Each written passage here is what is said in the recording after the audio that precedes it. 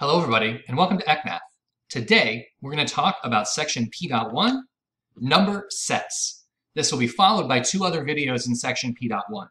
I would also like to add that I think it'd be really good for you to read section P.1. There is a lot of stuff covered in there that I'm not going to cover in these videos like orders of operations, expressions, some stuff that you should know. So these videos are going to focus on the things that are in P1 that you may not have seen before. All right, well let's get into it. So what we're looking at right here is a diagram of the real numbers.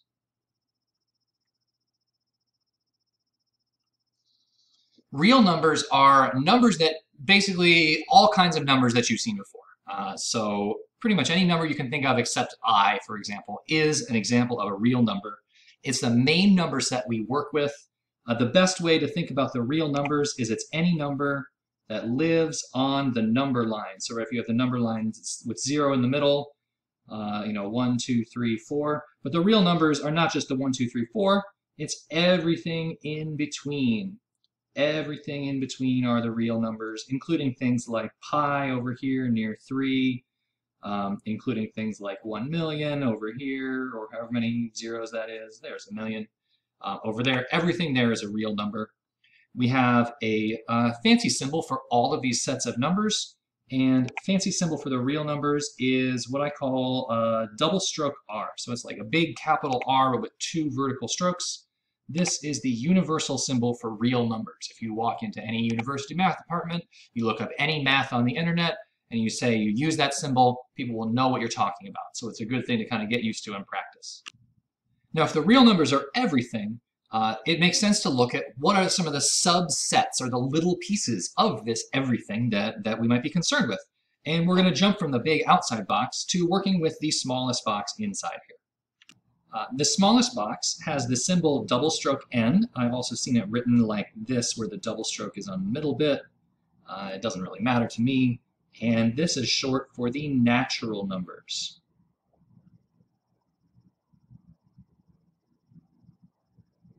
What is a natural number? Well, they are the numbers that you might find out in the world. If you're walking around and you're counting apples, uh, you might have one apple, two apples, three apples, four apples, etc. So there's a sense that natural numbers are positive uh, counting numbers. And I think counting numbers is another name for the natural numbers. Um, one little step outside of the natural numbers are what we call the whole numbers. Whole numbers have a fancy W. Very rare that you actually use the fancy W symbol. I don't actually know how to draw the fancy W symbol. That's the one that like is really not very used. The whole numbers are the natural numbers with zero added. So uh, it's just, it's kind of like, think about the development of the number systems. You know, we, we started knowing about numbers by counting things, and eventually we said, hey, numbers are good for doing arithmetic too. And then uh, some really great people in, I think, India first discovered uh, or figured out that if you make a symbol for the idea of nothing, then you can do a lot more interesting mathematics. And uh, so they added that to the number system and created this new number set called the whole numbers. Um, I'll address right now, you know, if you look at this diagram, it's drawn this way for a reason. The natural numbers are a subset of the whole numbers. That is, the whole numbers contain all the natural numbers.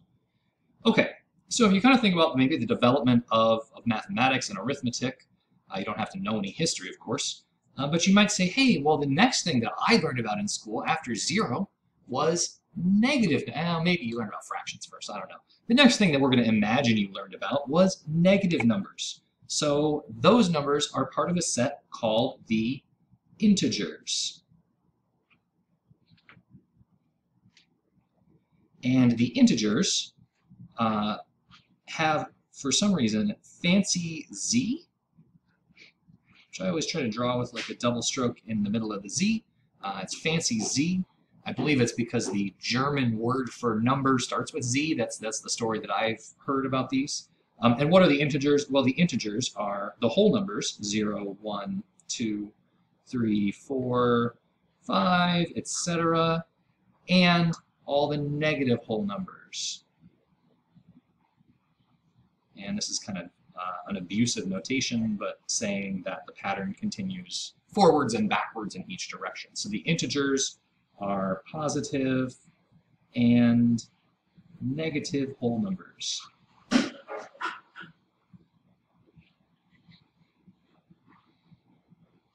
All right.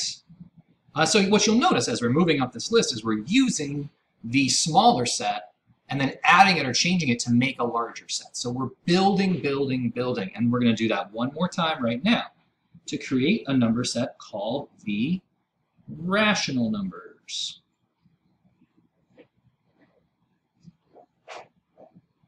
The rational numbers are ratios. They have the symbol fancy Q. Again, it's not really important how you draw the fancy Q. Um, if you look in your book, you can see the official way for the fancy Q, um, which stands for, by the way, quotient.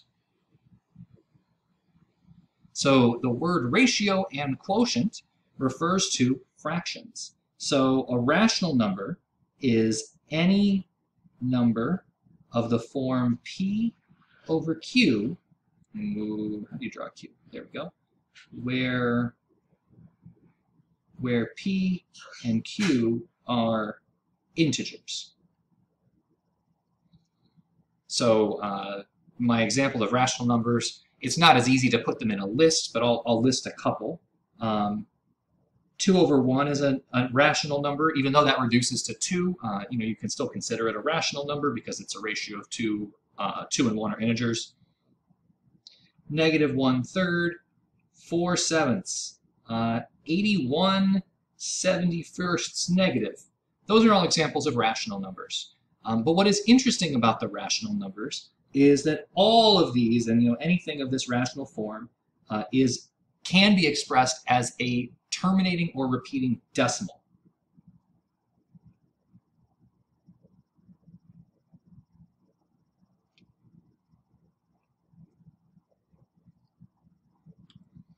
So 6.332, that's a rational number because you could imagine that there's some fraction that created 6.332.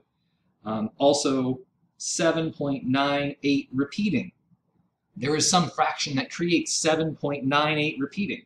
Um, if you've never seen this trick, it's 7 and 98 99ths uh, is how you get that repeating decimal. So you can always take the, the, repeating bit and put it over 99 to kind of make it work out. Um, so any terminating or repeating decimal creates a rational number.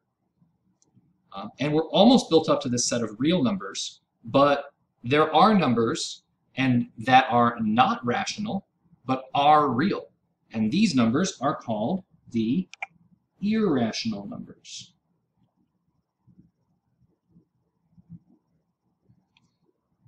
Uh, now, all the other number sets were built outwards based on other ones. The irrational numbers are over on the side in a different color because they're they're not the same. They're different. They're not based on something that that came before. They're really uh, saying, hey, these are not rational. So irrational numbers uh, cannot be written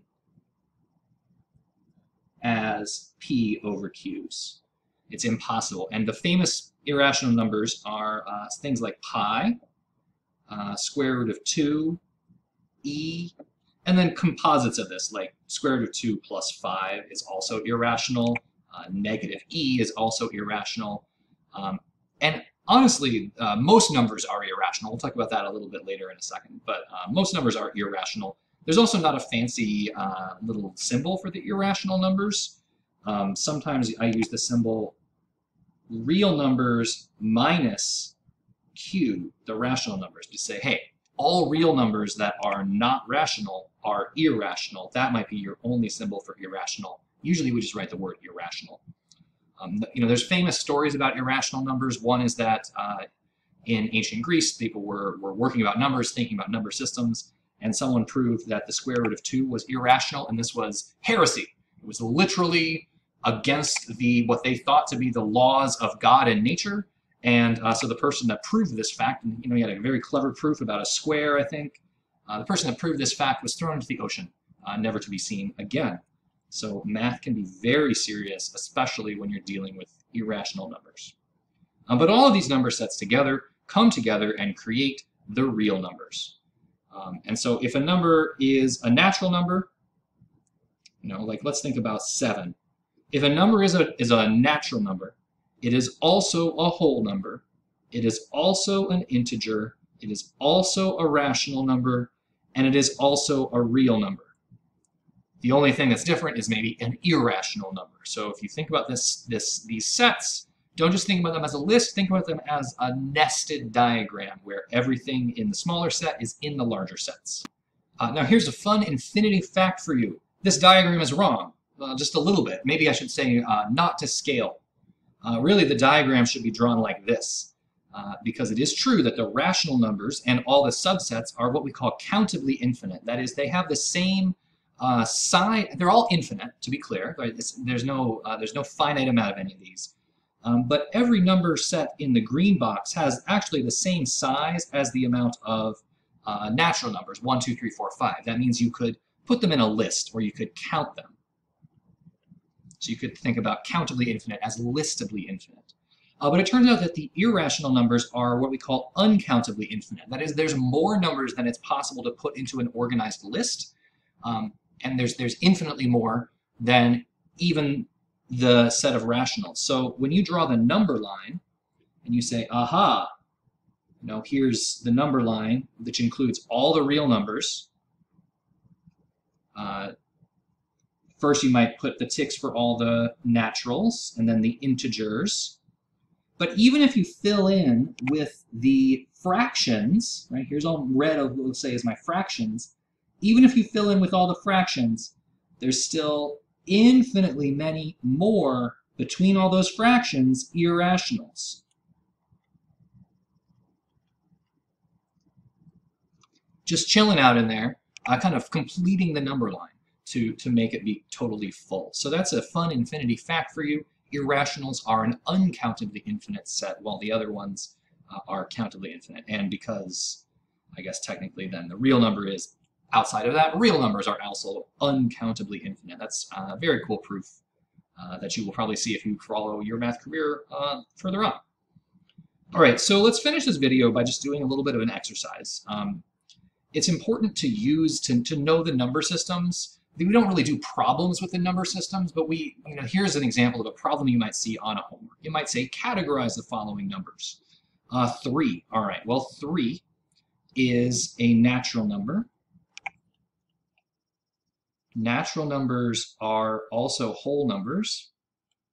They're also integers because the integers are positive and negative whole numbers, and 3 is definitely a positive whole number. It's also a rational because it's written as 3 over 1. And it's also a real because everything we talk about is a real number. So 3 is an example of a natural, whole, integer, rational, and real number all together. And if you were writing this out, you could use all these. You could also write, you know, use the symbols. This is why we have the symbols, double script N, double script W, double script Z, double script Q, don't be fooled, and double script R, if you wanted to. All right, uh, what about six, six halves? Now, you might look at this and say, aha, that is clearly a rational number because it's 6 over 2. Hmm, you might be right. Uh, it is a rational number, but it is also a natural, whole, rational, and real number. Why? Well, you can probably tell why. Because 6 over 2 is equal to 3. Uh, so if a number is reducing uh, down to something simpler, you, you should reduce it first and then categorize it. The number sets are not about uh, how it is written, they're about what it represents in lowest terms. The number 7 halves uh, is written as a fraction. You could also, of course, have 7 halves, think about it as 3.5, the decimal. Um, now, 3.5 is not a whole number. It's not an integer because it's not a whole number. So the set that this starts with is going to be rational,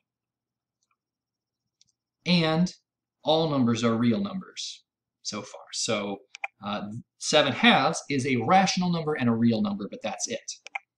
Negative 81. You can see, you can see where we're going here. Negative 81 uh, is a integer, right, 81, but it is negative, So it's not a natural number. It's not a whole number. It is an integer. It is a rational number because it's like 81 over 1, and it is a real number. All right, let's keep going. Uh, now we get to the fun stuff. Here, I'm just going to put these all on one page. Uh, 6 plus pi, that is an irrational number. Pi is irrational, right? It's 3.14, never repeating. So 6 plus pi, I guess, would be something like 9.1415926 dot, dot, dot. And it never repeats and it never terminates. So that means that this is irrational. And it must still be a real number because uh, all numbers so far are real numbers. Square root of 22 is a square root that is not a square root of a perfect square. So this is also an irrational and a real number.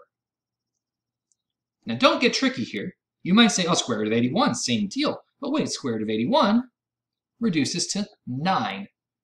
That true? Yes. Square root of 81 reduces to 9. 9 is a natural number.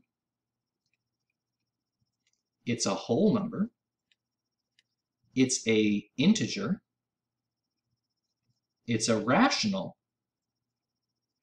And it's a real number, but it is not an irrational number. So when you have a square root, reduce it just like you would reduce a fraction. And last one, square root of negative 81. Uh, now that's something a little bit different. That, uh, you might say now, uh, does not exist.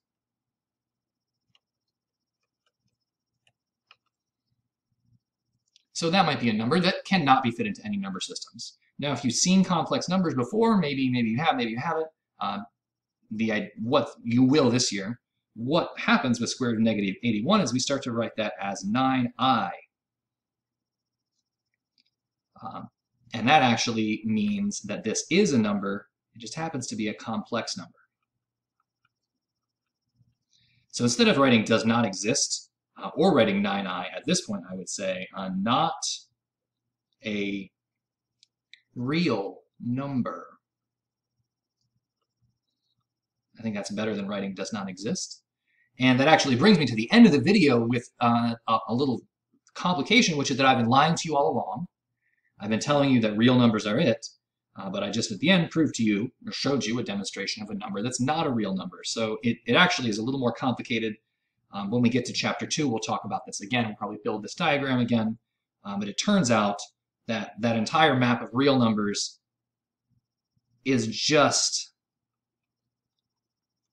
a subset of the complex numbers which have fancy C as their logo, and they're all numbers of the form A plus BI, where A is the real part and BI is the imaginary part. So uh, really all numbers are complex numbers. Don't worry about that for now. You won't run into that. Um, but just, you know, something to think about is that uh, there are more numbers than you know and you can think about. All right. I hope this has been educational. Uh, thank you for watching this video. We'll leave that chart up here uh, if you were trying to write anything down. I know that there's a nice version of this chart in your book and a couple more examples as well. Uh, it's on page 7 of section P.1 if you need it at all. Um, so again, you've been watching eckmath. Uh, if I've made any mistakes, please leave them in the comments. If you have any questions, please don't hesitate to ask me or ask your math teacher. We're happy to help. Uh, stay tuned for the next set of videos. We'll finish out section P.1 It's been a pleasure. I'll see you all next time.